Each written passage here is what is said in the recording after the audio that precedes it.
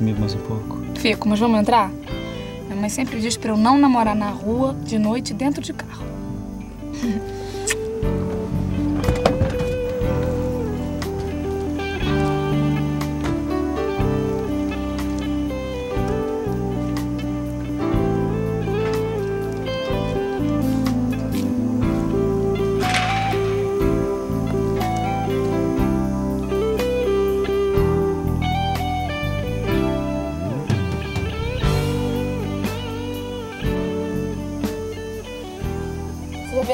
Todo, né? Não, falta muito ainda. Eu conheço alguns lugares por causa das competições e algumas viagens que eu fiz com os meus pais. Sabe como é filho único, né? Na verdade, viajei mais com meu pai. Ele adora teatro, exposições, grandes shows. O que foi? Nós somos muito diferentes. Você acha isso muito importante? Os outros acham muito importante. Sua mãe deve achar. Esquece minha mãe. Não beijo. Beijo não se pede, se rouba.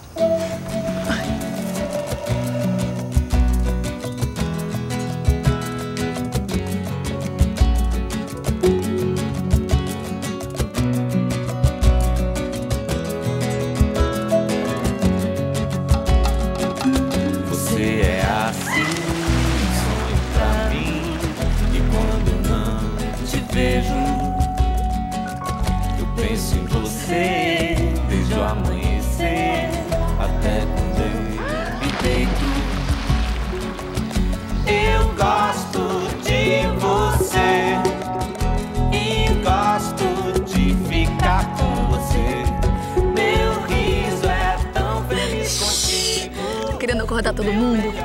Se minha mãe pega a gente aqui agora, eu não quero nem pensar. Então vamos aproveitar que ela tá dormindo.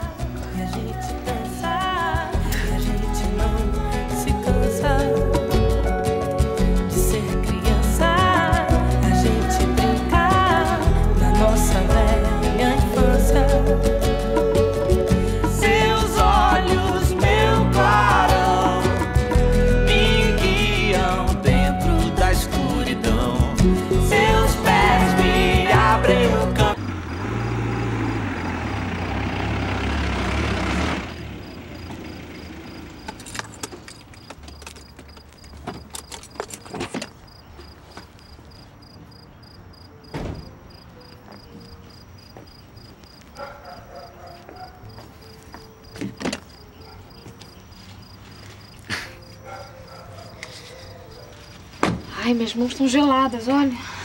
Calma, relaxa. Você vai ser muito bem recebida. Todos vão adorar você, que nem eu. Que palácio. Minha mãe às vezes acha a casa pequena.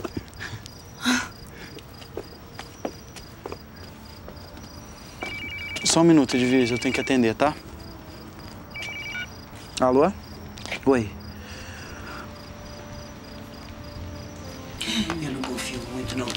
Lorena porque acho ela muito liberal. Um pouquinho permissiva, né? Por isso eu quis que você viesse. Estou com medo que essa namorada do Cláudio seja uma daquelas mocinhas que se fingem de puras, de inocentes, de apaixonadas, mas estão é de olho no dinheiro e no nome do rapaz. É, você tem que tomar cuidado mesmo. Tem muita menina por aí a fim de dar o golpe do baú.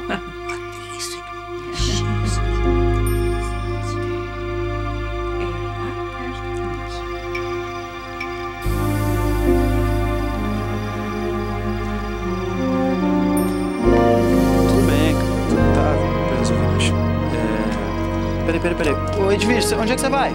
Edviges?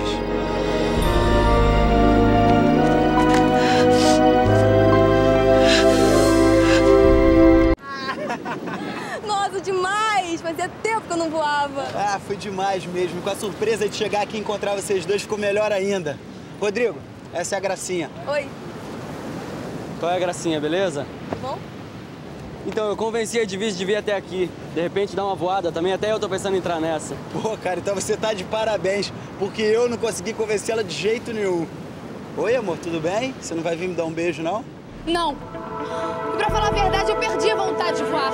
De voar só não, eu perdi a vontade de ficar aqui também. O que, que foi? Tá vendo que você não tava precisando tanto assim da minha companhia, né, Cláudio? Que isso, Edvise? Eu te convidei pra voar, você não quis aí. Aí você colocou outra no meu lugar. Peraí, peraí, outra não. Meu nome é Gracinha e não tem nada a ver, não é nada que você tá pensando. O que, que tem? Duas pessoas resolveram sair juntas pra voar, é só isso. Peraí, peraí, gente. Que isso? Vamos conversar numa boa. Não quero que ninguém explique nada mais. Eu já vi tudo. Ô, Edvige. Deixa, Cláudio. Deixa que eu falo com ela. Ai, desculpa, Cláudia, não devia ter respondido. Ah, tudo bem, deixa pra lá. Eu devia ter sacado que isso acontecer. A frescura dela, cara, eu não gosto disso.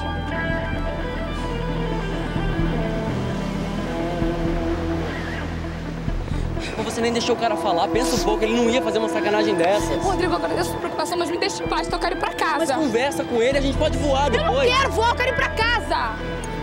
Tá bom, eu te levo. Não precisa. Precisa sim. Eu te trouxe, eu te levo. Pô, tá aí toda nervosa, não vou deixar vocês sozinha. Vamos nessa, depois eu falo com o Cláudio. misunderstood. I stumbled like my words, did the best I could. I hanging outside your door. I've been here before, misunderstood. I stumbled like my words, did the best I could. Damn misunderstood intentions good.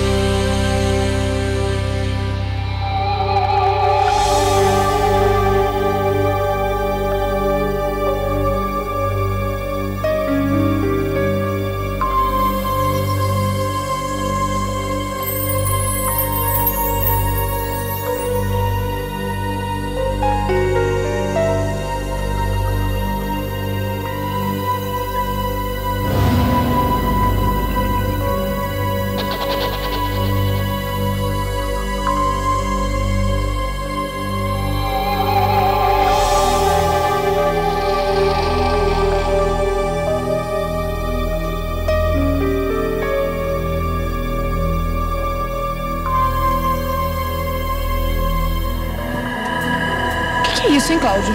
Não vai me dizer que ela vai com você pra São Paulo. Oi, você não vai me dar um beijo? Ela vai ou não vai com você pra São Paulo, sim ou não? Cláudia, eu não quero arrumar problemas pra você. A Gracinha vai comigo pra São Paulo, sim. Ela vai me fazer companhia porque você não quis ir comigo, e é só isso. Companhia? Companhia onde? Na cama? Aí, gente, vamos conversar numa boa. Edvige, por favor. Você quer que eu pense o quê, hein, Cláudio? Você me chama pra voar de azedado com você, eu não posso ir, você chama Gracinha. Você me chama pra viajar com você pra São Paulo, eu digo não, você chama Gracinha. Você pensa que eu sou alguma idiota? O que mais eu vou te negar e você vai pedir pra Gracinha? Tá pensando que eu sou quem? Não queira saber o que eu penso de você. Olha aqui, garota. Eu não tô falando com você! Você tá fantasiando uma história que não existe. Para com essa paranoia de ciúme. Paranoia! Você quer que eu pense o quê? Que você vai pra São Paulo com ela, passar uma noite inteira juntos e não vai acontecer nada? Se é que já não aconteceu, né, Cláudio? Não aconteceu nada, garota. Garota é sua vovozinha, hein? Você tem que acreditar no que eu tô dizendo. Não rola nada com a gente, nem nunca rolou. Mas pode rolar a qualquer momento. Pode. Pode sim, claro. Eu sou homem e ela é mulher. E aliás, pode rolar com a Gracinha como com qualquer outra mulher. Vou entrar, Cláudio. Tô com sono. A noite foi comprida hoje, pensei que não fosse acabar. Cansei. Tá, tudo bem. Então, tchau. Eu não mereço um beijo? Meus beijos assim de amigo. Ah, Cláudia, mas é o que nós somos agora. Eu vou entrar, tá? Porque eu tô com sono e nem pode estar precisando de mim. Um beijo de despedida, então.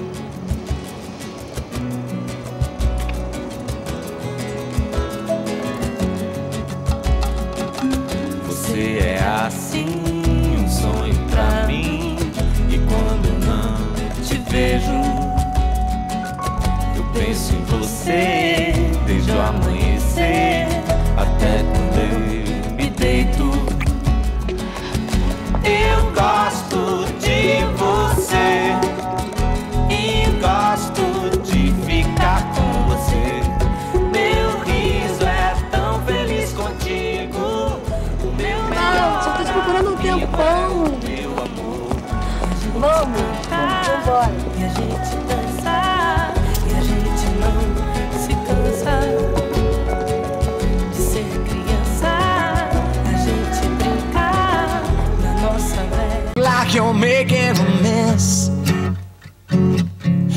hell on wheels in her black dress and drove me to the fire and left me there to burn.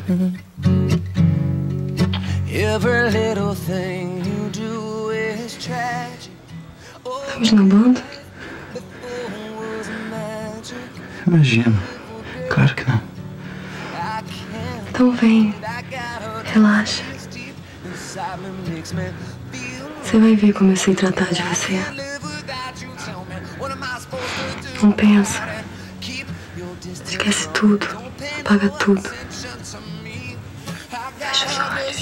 Yeah, well, I think that I'm sick, but leave me be while my world is coming down on me. You taste like honey, honey. Tell me, can I be your honey? Be, be strong. Keep telling myself that it won't take long till I'm free of my disease. Free of my disease free of my disease.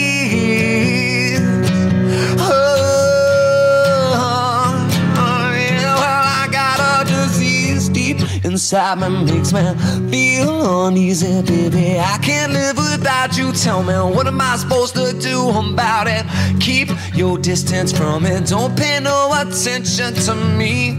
I got heart disease, yeah, well, I think that I'm sick. Believe me, be while my world is coming down on me. You taste like honey, honey. Tell me, can I be your honey? Be, be strong.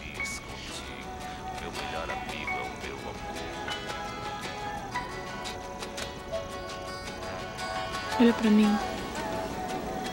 Tô olhando. Não consigo parar de olhar pra você e nem parar de te beijar.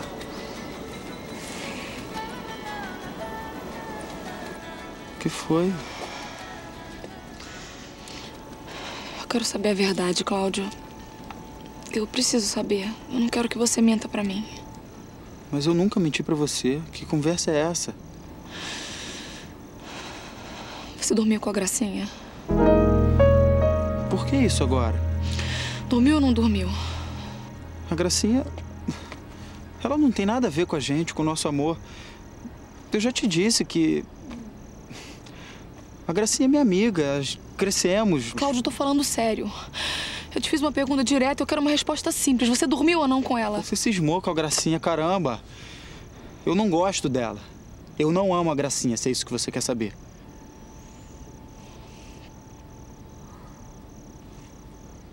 Edviges, eu amo você. Será que não dá pra você entender isso? Eu quero saber a verdade, Cláudio. Eu só quero a verdade. Eu. Eu não queria que tivesse acontecido. Mas chegou um momento que. Aconteceu.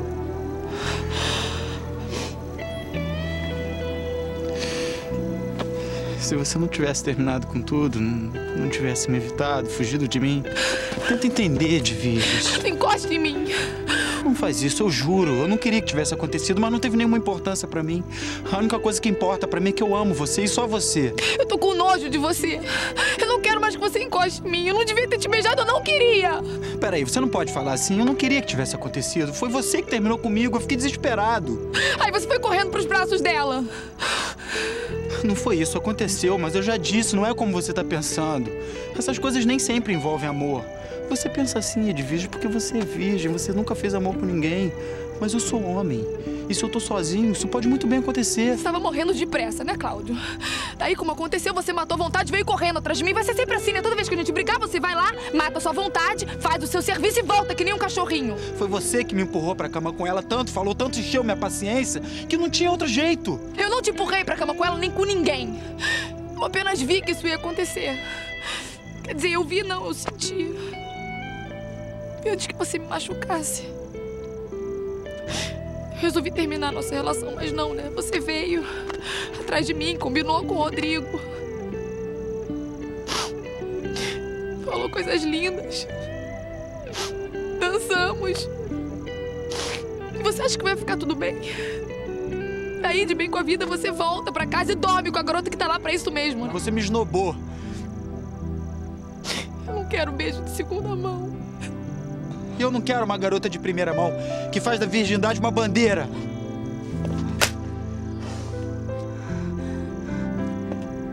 Nunca mais encosta a mão em mim.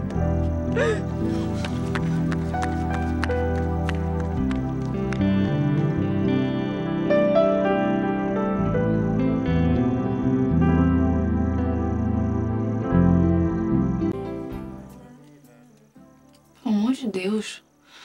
Faz me sentir ridícula. Não posso. Não pode. Não. Não posso.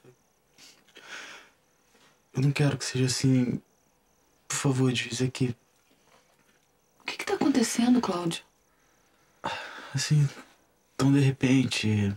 Eu acho que. Eu tenho medo. Eu tenho medo que depois você se arrependa, eu me sinta culpado e. Eu tô me oferecendo. Eu tô me dando a você. Eu sei, Edvige, mas é que. Por favor, procure entender. Eu não tava esperando e. Eu tenho medo. É isso, eu tenho medo que depois. Que você depois deixe de gostar de mim, que não me queira mais, que não me ame mais. Eu falei pra você, Cláudio. Eu não quero. Não quero nada no seu seu amor nesse momento. Eu não tô nem pensando no dia de amanhã, eu juro.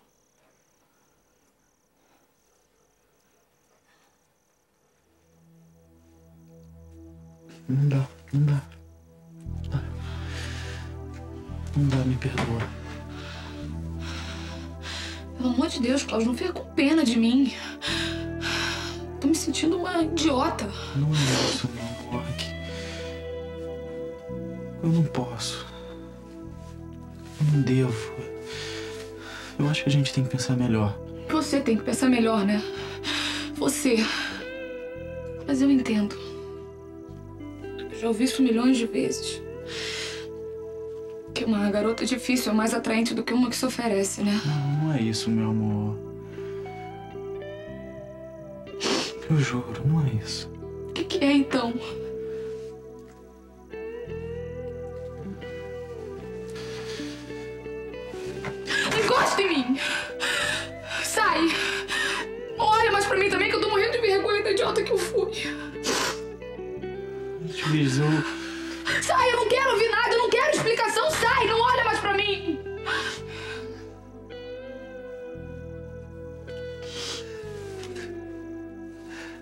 Sei que é difícil entender agora, mas. É que eu não tô bem. Eu tô confuso, tô com problemas. Eu não acho justo nem honesto estar com você agora. Enquanto eu não resolver. De repente, você percebeu que não me ama o suficiente pra estar comigo na cama, Cláudio. Eu entendo. Não é isso também. Você é tão honesto. Tão correto. Me deixa sozinha. Pra não me sentir tão envergonhada.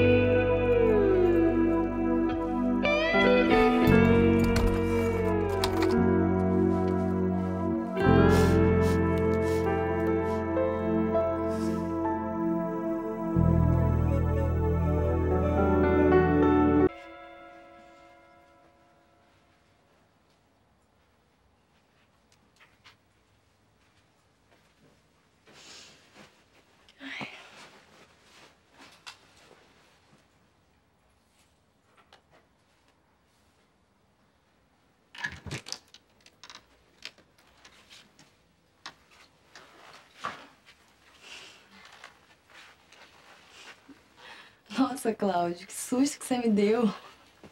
Você me pega sem roupa, né? Parece até que faz de propósito. Tô sabendo que saiu todo mundo e só tem nós dois. Fecha a porta.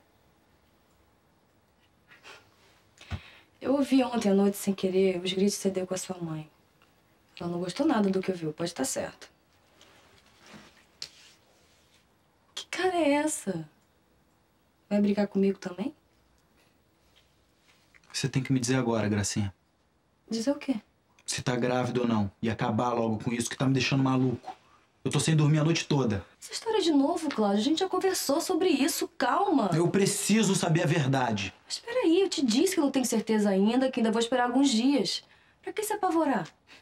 Porque eu não posso e eu não quero sacanear minha namorada. E ontem ela veio pra mim, pra se entregar.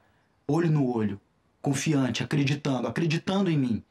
Acreditando que eu tive com você uma ou duas vezes, mas que acabou. E aí? Transaram os dois? É claro que não, eu tive que pular fora, né? Ah, então é isso, né? Eu posso estar grávida e você preocupado com ela. Pulou fora porque quis, tinha mais que aproveitar. Será que você não consegue entender um comportamento honesto? Honesto ou babaca? Honesto pra mim e babaca pra você. Você acha mesmo que eu podia transar com ela sem ela saber que você tá grávida? Que tipo de homem que você pensa que eu sou, hein? Eu não sei que uma coisa tem a ver com a outra. Porque se você estiver grávida, é pra ela que eu vou contar em primeiro lugar. Por mais que isso custe, por pior que isso seja, ela vai saber o que aconteceu. E tem que ser antes da gente transar pra ela poder cair fora de mim também, se ela quiser. Claro, você vai dar uma de bom moço. Eu acho isso muito bonito. Chego até a invejar sua namorada. Acontece que se eu estiver grávida, não quero que ninguém fique sabendo. Mas eu tenho que saber já, agora! O mais depressa possível, se você tá ou se você não tá grávida. Se é verdade ou se é cascata, eu tenho que saber. Cascata? Você tá me ofendendo. Dane-se se isso te ofender. Acaba logo com isso. Eu tenho que saber, pô. Do que você tem tanto medo? Não existe nada entre nós dois. Aconteceu uma vez, duas, três. Você não tem compromisso nenhum comigo. Vai, vai, vai. Corre pra sua namorada, sejam muito felizes e me esqueçam. Para de fingir, de ser falsa, de fazer teatro, garota. Você tá, eu não penso pela tua cabeça, graças a Deus. E vem cá, que joguinho é esse que você tá fazendo, hein? Que que há? Vai me bater agora? O filho da patroa espancando a filha da empregada? Nada disso, você sabe muito bem. Para de me enrolar. Não tô te enrolando. Tá me enrolando se você sabe se você tá ou não tá grávida. Muito bem. Tô grávida sim. E daí? Vai fazer o quê?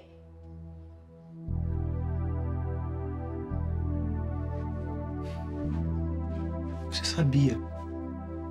Não sabia, não. Nem sei. Não fiz exame nenhum. Mas eu sinto que eu tô. Tá bom.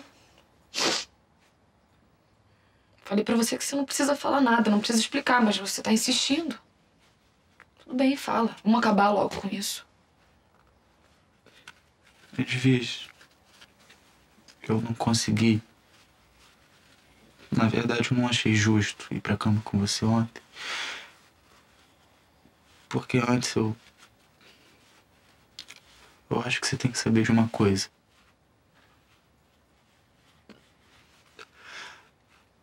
A Gracinha tá grávida. Tá esperando um filho meu.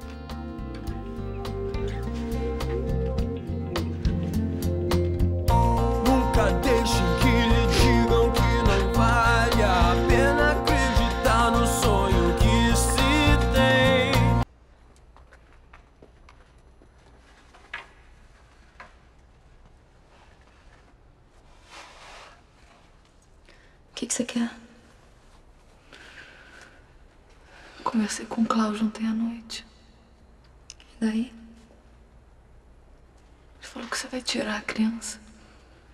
O que, que ele tem que falar com você sobre minha vida? Aliás, o que, que vocês dois têm a ver com o que eu faço ou o que eu deixo de fazer? Não tira, Gracinha. Eu te peço. Edviges. É um assassinato. Qual é? O filho não pode nascer de qualquer jeito. Mas só se tem chance de ser feliz. E você sabe quem pode ser feliz ou não? Eu sei quem tem muita ou pouca chance. Meu filho, se nascer, tem pouquíssima. Porque já tá rejeitado pela família e pelo próprio pai. Não é verdade. O Cláudio jamais rejeitaria uma criança que ele fez. Não rejeita, mas também não aceita, Edviges. Essa criança já tá amaldiçoada, como é que pode ser feliz? E depois, por causa dela, eu vou pra rua da amargura carregando pai e mãe. Como é que eu posso viver assim? Nem casa mais eu tenho pra morar. Te ofereço a minha casa.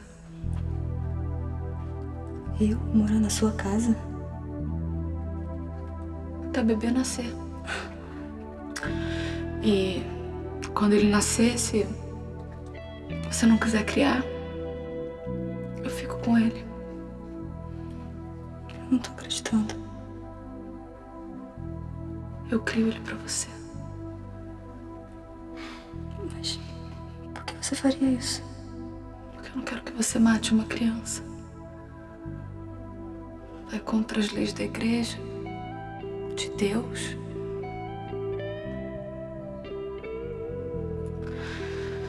Não posso permitir que você faça isso.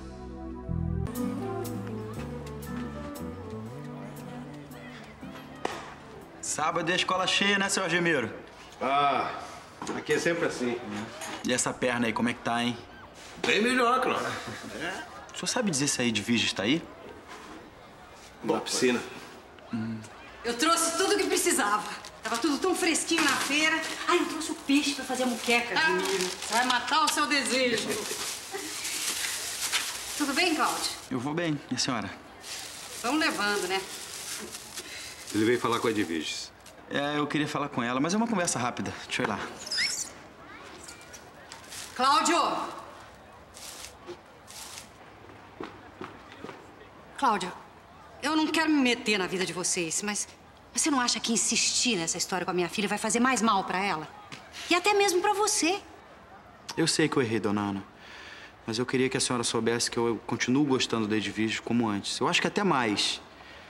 E eu vou tentar me entender com ela. Cláudio, eu tenho medo que você sofra mais ainda. Mas eu quero justamente que a gente pare de sofrer. Should I? Said the wrong things right a thousand times. If I could just rewind. see Mas quem eu vejo por aqui, quem é vivo sempre aparece, né, E Cláudio? aí, Rodrigão, beleza? Ei, beleza, cara. Vou pegar uma piscina?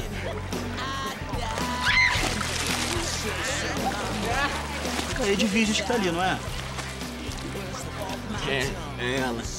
Tá lá, linda e loira. Tá de sunga aí? Tô, já saí de casa pensando em dar um mergulho. É? Pô, vai lá no vestiário, deixa a roupa lá. Tá. Vai atrás da tua sereia. Valeu.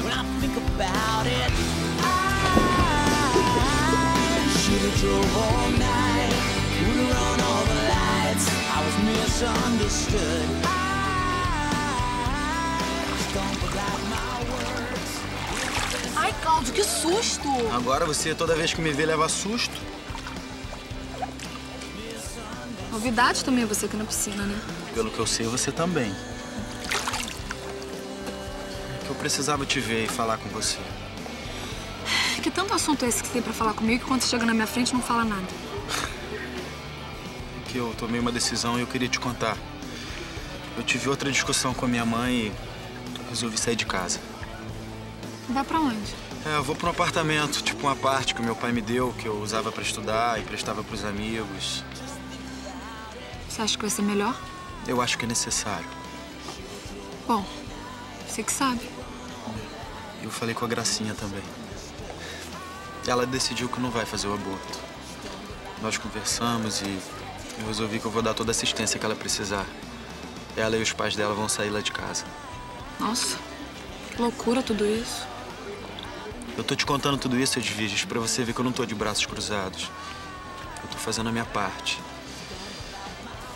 Eu vou assumir a minha responsabilidade com a Gracinha, mas isso não significa que eu tenha que viver uma vida com ela, ter uma história. Eu tô tentando fazer o que eu acho certo pra nós dois, eu e você, conseguirmos levar a nossa vida. Você sabe que não é tão simples assim. A gente tá perdendo momentos preciosos, Edviges. Também penso nisso às vezes. Aí, você já viu o campeonato de beijo na boca que teve na televisão, debaixo d'água, brother? Eu achei que fosse moleza, mas nem é, rapaz. Se a gente soubesse desse campeonato, hein, Edviges? Por quê? A gente ganhava mole mole. Vocês querem ver? Vem.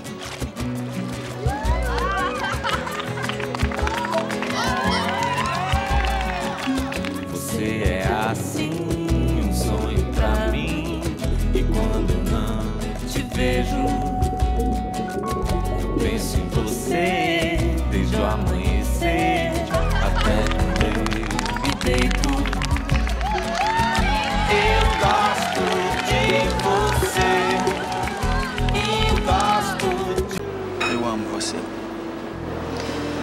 também te amo, Cláudio.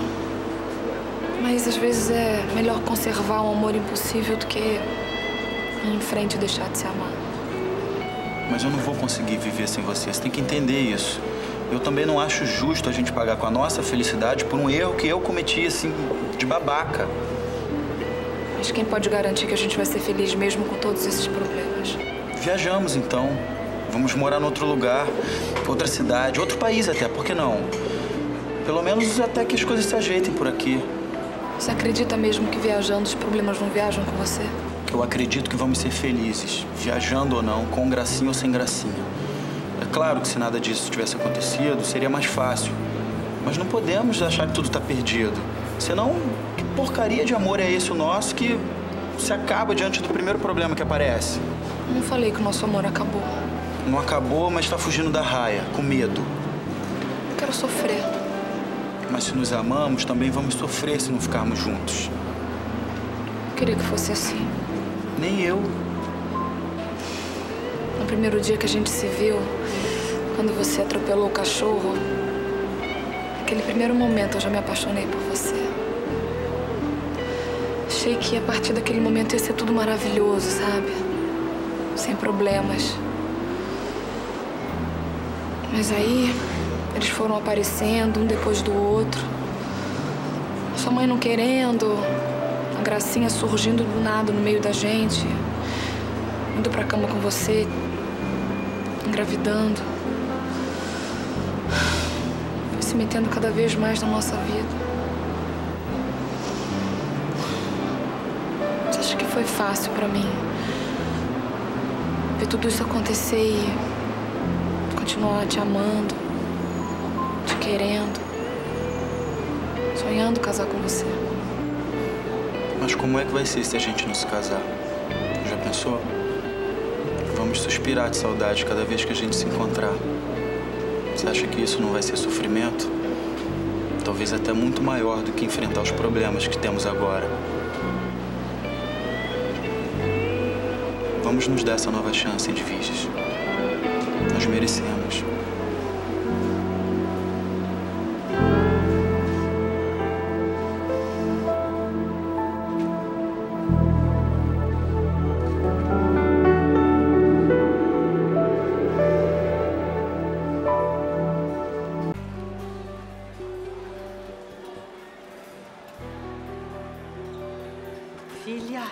Olha só quem tá chegando aí. Passei na praia pra te ver. É que hoje o tempo não tá muito bom pra passear e a minha mãe também pediu uma mãozinha aqui. E o resto, tudo bem? Agora dá pra sorrir um pouco. Por quê? Ah, você não tá me tratando aos beijos, mas pelo menos parou de me dar pancada.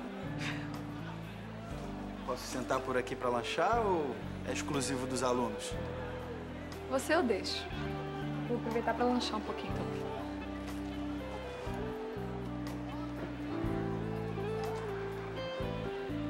O casal vai pedir o quê?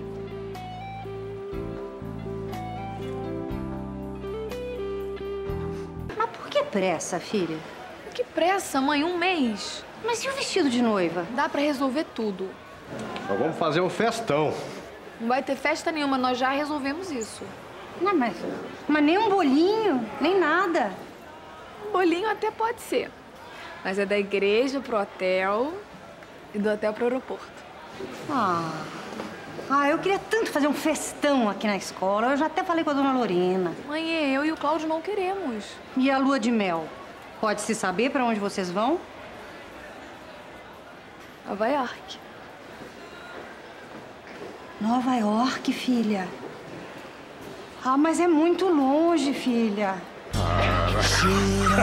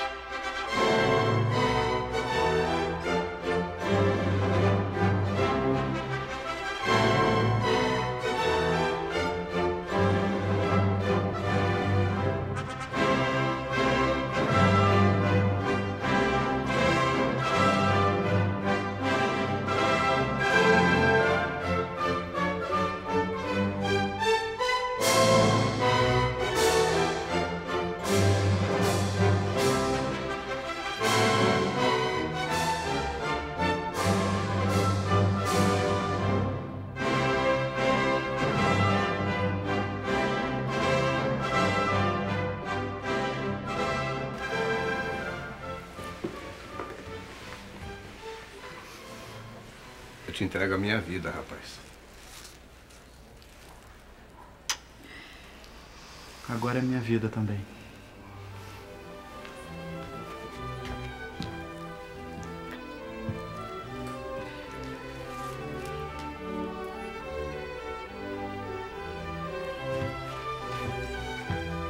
Em nome do Pai, do Filho, do Espírito Santo. Amém. Que a graça e a paz de Deus, nosso Pai, e de Jesus Cristo, nosso Senhor, estejam convosco.